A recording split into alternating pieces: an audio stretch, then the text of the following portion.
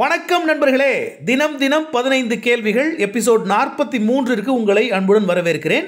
தினமும் பல்வேறு கேட்டகரிகளிலிருந்து முக்கியமான பதினஞ்சே பதினஞ்சு கேள்விகளை பார்த்துக்கிட்டு இருக்கோம். அந்த வரிசையில் இன்றைக்கி நம்ம பார்க்க போகிறது tenth social science volume two புக்கில் இருக்கிற உங்களுக்கு தெரியுமா?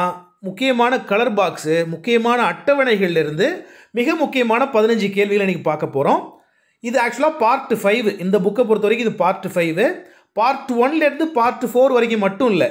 எபிசோட் நாற்பத்தி ரெண்டு வரைக்கும் தனியான ஒரு பிளேலிஸ்ட்டில் தொகுத்து வச்சுருக்கேன். அந்த பிளேலிஸ்ட்டுக்குள்ளே போனீங்கன்னா இதுக்கு முன்னாடி நான் போட்டுக்கிற எபிசோடுகள் அனைத்தையும் நீங்கள் பார்க்கலாம். உங்களுடைய வசதிக்காக அந்த பிளேலிஸ்ட்டோட லிங்க்கையும் இந்த வீடியோ டிஸ்கிரிப்ஷனில் நான் கொடுத்துருக்கேன். பார்த்து பயனடையுங்கள். எபிசோட் நாற்பத்தி மூன்றின் முதல் கேள்வி. தமிழ்நாட்டின் மிக நீளமான தேசிய நெடுஞ்சாலை எது? தமிழ்நாட்டின் மிக நீளமான தேசிய நெடுஞ்சாலை எது? இந்த கேள்வி கேட்குறதுக்கு நிறைய வாய்ப்பு இருக்குது தமிழ்நாட்டின் மிக நீளமான தேசிய நெடுஞ்சாலை எது? விடை சொல்லவா? ஆப்ஷன் ஏ பாருங்கள் நேஷ்னல் ஹைவேஸ் நாற்பத்தி நான்கு அதுதான் தமிழ்நாட்டின் மிக நீளமா நீ- மிக நீளமான தேசிய நெடுஞ்சாலை. இந்த என்ஹெச் ஃபார்ட்டி ஃபோர் எங்கிருந்து எதுவரை நீள்கிறது? ஆன்சர் தெரிஞ்சவங்க லைவில் இருந்தீங்கன்னா லைவ் சேட் பண்ணுங்கள் லைவ் முடிஞ்ச பிறகு பார்க்குறவங்க கமெண்ட் பண்ணி உங்களோட ஆன்சரை செக் பண்ணிக்கோங்க. என்ஹெச் ஃபார்ட்டி ஃபோர் எங்கிருந்து எதுவரை செல்கிறது? என்ஹெச் ஃபார்ட்டி ஃபோர் ஆனது ஓசூரிலிருந்து தர்மபுரி சேலம் கரூர் திண்டுக்கல் மதுரை திருநெல்வேலி வழியாக கன்னியாகுமரி வரை செல்கிறது. ஓசூரிலிருந்து கன்னியாகுமரி வரை. இந்த என்ஹெச் ஃபார்ட்டி ஃபோரின் மொத்த நீளம் என்னன்னு பார்த்தீங்கன்னா அறுநூற்று இருபத்தி ஏழு புள்ளி ரெண்டு கிலோமீட்டர் இது எல்லாமே பாக்ஸில் இருந்த இன்ஃபர்மேஷன் இந்த இன்ஃபர்மேஷன்லேருந்து எந்த கேள்வி வேணால் கேட்கலாம். அறநூற்றி இருபத்தி ஏழு புள்ளி ரெண்டு கிலோமீட்டர் நீளம் என்ஹெச் ஃபார்ட்டி ஃபோர் எப்படி தமிழ்நாட்டின் மிக நீளமான தேசிய நெடுஞ்சாலை என்ஹெச் ஃபார்ட்டி ஃபோரோ அதே மாதிரி மிக குறைவான நீளம் கொண்ட தேசிய நெடுஞ்சாலை எதுன்னு கேள்வி கேட்பாங்க. அந்த நெடுஞ்சாலை எங்கிருந்து எதுவரை செல்கிறது அப்படின்னு கூட கேள்வி கேட்பாங்க. சொல்லுங்க பார்ப்போம் தமிழ்நாட்டின் மிக குறைவான நீளம் கொண்ட தேசிய நெடுஞ்சாலை எது? விடை சொல்லவா? தமிழ்நாட்டின் மிக குறைவான நீளம் கொண்ட தேசிய நெடுஞ்சாலை என்ஹெச் எழுநூற்றி எண்பத்தி ஐந்து. என்ஹெச் எண்பத்தஞ்சிலேருந்து பிரிகிறது இது. அதனால தான் என்ஹெச் ஏழு எட்டு அஞ்சுன்னு இதை சொல்கிறாங்க இது எங்கேருந்து எது வரை போகுதுன்னு பார்த்தீங்கன்னா மதுரையிலிருந்து நத்தம் வரை செல்கிறது. இதன் நீளம் என்னன்னு கேட்பாங்க. இதன் நீளம் முப்பத்தி எட்டு கிலோமீட்டர். அடுத்த கேள்விக்கு போகலாம் தமிழ்நாட்டின் அஞ்சலக மண்டலங்கள் அஞ்சலக மாவட்டங்கள்னு சொல்லலாம். தமிழ்நாட்டின் அஞ்சலக மாவட்டங்கள் மற்றும் அவற்றின் தலைமையிடங்கள் கொடுக்கப்பட்டுள்ளன. அவற்றில் பொருந்தாதது எது? சென்னை மண்டலத்தின் தலைமையகம் சென்னையில் உள்ளது. இது சரியாக பொருந்திருக்கா இல்லையா? மேற்கு மண்டலத்தின் அதாவது மேற்கு அஞ்சலக மண்டலத்தின் தலைமையிடம் கோயம்புத்தூரில் உள்ளது. இது சரியா தவறா? மத்திய மண்டலம் திருச்சிராப்பள்ளி. இது பொருந்திருக்கா பொருந்தலையா? தெற்கு மண்டலம் தூத்துக்குடி. இது பொருந்திருக்கா இல்லையா? எது பொருந்தாதது? தெற்கு மண்டலம் தூத்துக்குடி என்பது பொருந்தாதது. அஞ்சலக தெற்கு மண்டலத்தின் தலைமை இடம் தலைமையகம் எங்கே இருக்குன்னு பார்த்தீங்கன்னா மதுரை. விட என்ன? மதுரை. அடுத்த கேள்விக்கு போகலாம் பேரிடர் அவசரகால தொலைபேசி எண் என்ன? பேரிடர் அவசரகால தொலைபேசி எண் என்ன? பேரிடர் அவசரகால தொலைபேசி எண் என்ன? ஒன் ஜீரோ செவன் செவன் ஒன்று பூஜ்ஜியம் ஏழு ஏழு. சரிங்களா? பேரிடர் அவசரகால தொலைபேசி எண் ஒன்று பூஜ்ஜியம் ஏழு ஏழு. ஆப்ஷன் ஏல இருக்குல்ல ஒன்று பூஜ்ஜியம் ஒன்பது ஒன்று. இது யாருக்கான தொலைபேசி எண்? மகளிருக்கான தொலைபேசி எண் ஒன்று பூஜ்ஜியம் ஒன்பது ஒன்று. குழந்தைகளுக்கான தொலைபேசி எண் என்ன? குழந்தைகள் பாதுகாப்பிற்கான தொலைபேசி எண் என்ன? ஒன்று பூஜ்ஜியம் ஒன்பது எட்டு. ஆப்ஷன் பியில் இருக்கு பாருங்கள் எல்பிஜி கேஸ் லீக்கேஜ் அவசர கால தொலைபேசி எண் என்ன? எல்பிஜி கேஸ் லீக்கேஜ் அது ஒன்று ஒன்பது பூஜ்ஜியம் ஆறு. ஆப்ஷன் சியில் இருக்கு பாருங்க. சரி இப்போ இன்னொரு கேள்வி. பேரிடர் அவசரகால தொலைபேசி எண். அதோட கட்டுப்பாட்டு அறை எதுன்னு ஒரு கேள்வி கேட்பாங்க. என்ன விடை? பேரிடர் அவசரகால தொலைபேசி எண். அதன் கட்டுப்பாட்டு அறை எது? மாவட்ட ஆட்சியர் அலுவலகம். அப்படி இல்லைன்னா மாவட்ட நீதிபதி அலுவலகம். புக்கில் பாக்ஸில் இந்த இன்ஃபர்மேஷன் இருக்குது ஸோ இதிலேருந்து கேள்வி கேட்கலாம். அடுத்த கேள்வி. மாநில பேரிடர் மேலாண்மை ஆணையத்தின் தலைவர் யார்? மாநில பேரிடர் மேலாண்மை ஆணையத்தின் தலைவர் யார்?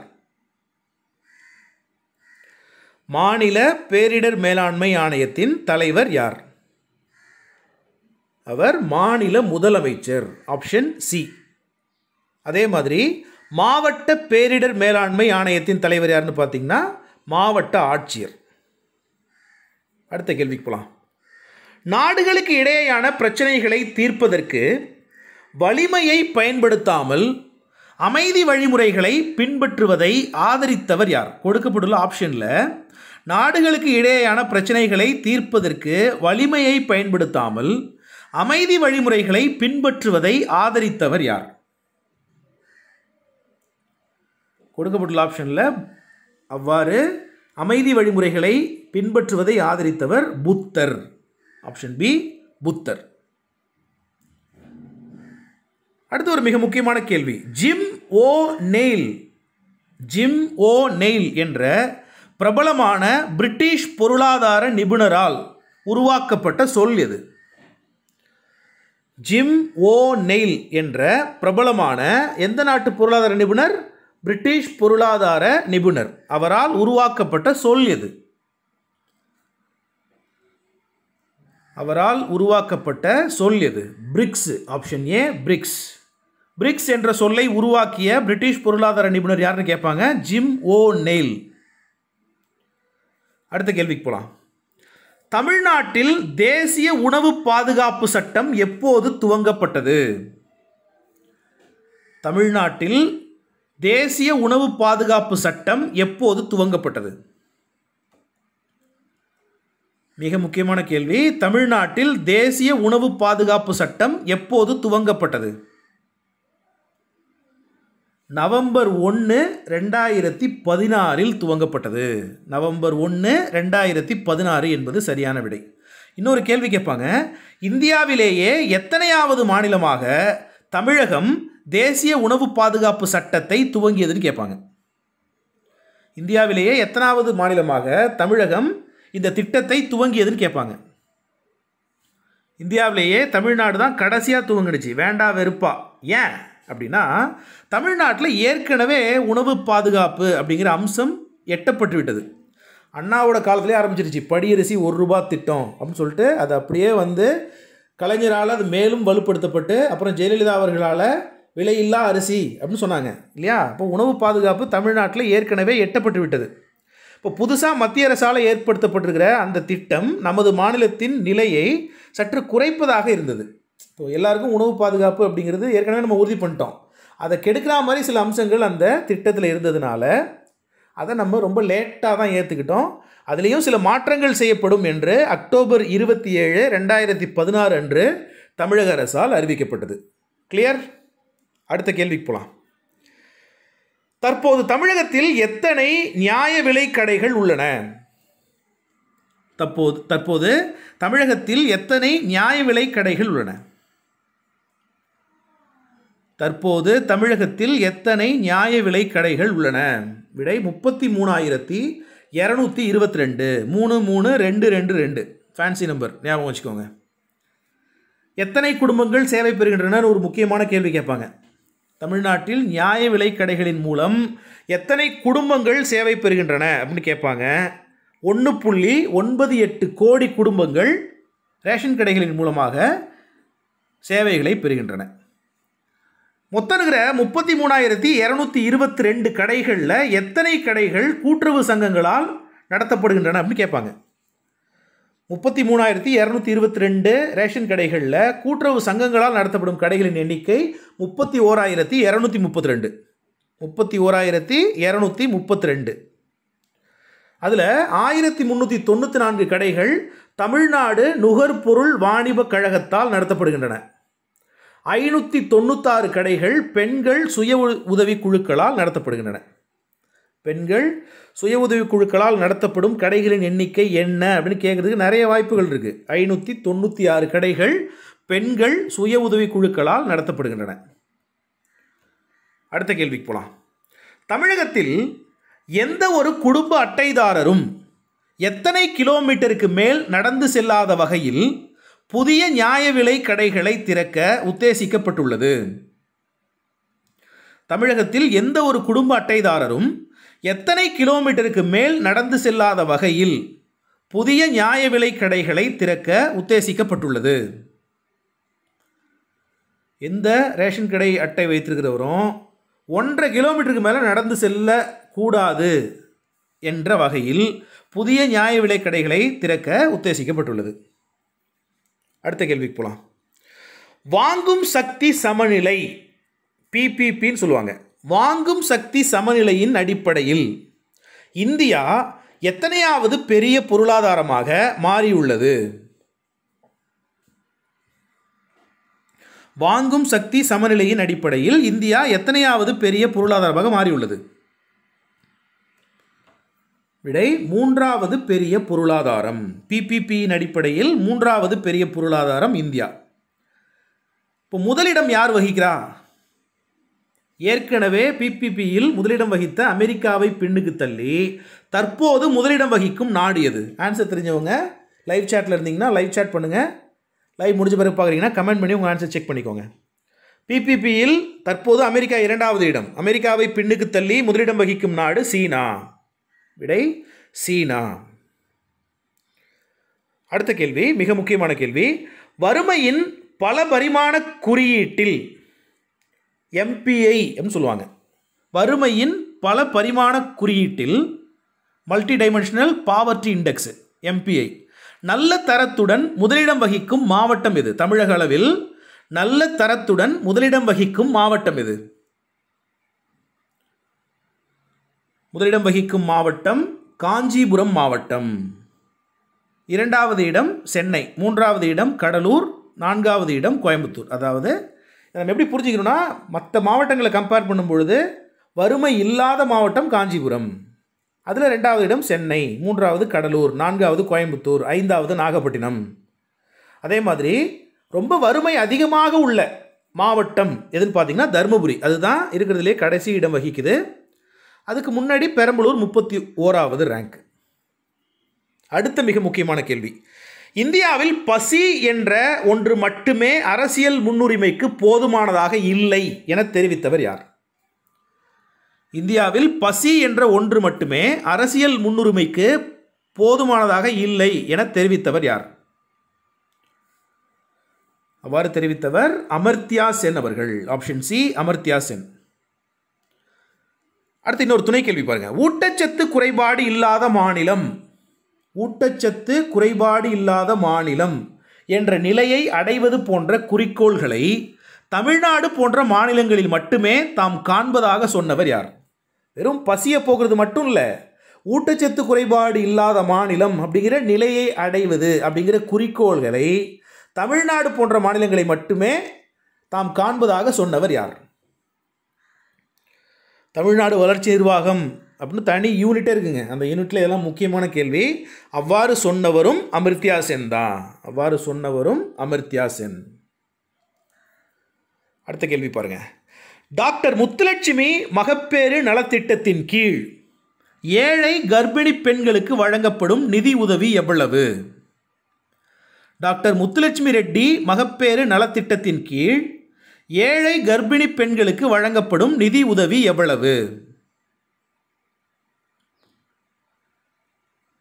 விடை சொல்லவா? ஏழை கர்ப்பிணி பெண்களுக்கு வழங்கப்படும் நிதி உதவி பன்னிரெண்டாயிரம் ரூபாய். ஆப்ஷன் பி பன்னிரெண்டாயிரம் ரூபாய். நண்பர்களே ஆறாம் வகுப்பு முதல் பன்னிரெண்டாம் வகுப்பு வரை தமிழ் பாடப்புத்தகங்களில் உள்ள அனைத்து திருக்குறள்களையும் முடித்து கொடுக்கும் நோக்கத்தோடு நாம் தினமும் இரண்டு திருக்குறள்களை பார்த்து கொண்டு வருகிறோம். அதில் இன்று நாம் பார்க்க இருக்கும் முதல் திருக்குறள் காக்கை கரவா கரைந்துண்ணும் டேஷ் அண்ண நீரார்க்கே உள. காக்கை கரவா கரைந்துண்ணும் டேஷ் அன்ன நீரார்க்கே உள. இந்த குறளின் மூலம் வள்ளுவர் உணர்த்தும் செய்தி என்ன? நாலு ஆப்ஷனையும் படிச்சு பாருங்க. இந்த குறளின் மூலம் வள்ளுவர் எந்த செய்தியை சொல்லியிருப்பார்? இந்த குறளின் மூலம் வள்ளுவர் உணர்த்தும் செய்தி என்ன?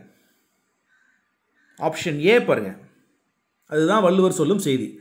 காகம் பகிர்ந்துண்ணுவதைப் போல சுற்றத்தாரிடம் பகிர்ந்து உண்ணும் பண்புடையவரிடம் செல்வம் சேரும்னு சொல்கிறாரு வள்ளுவர்.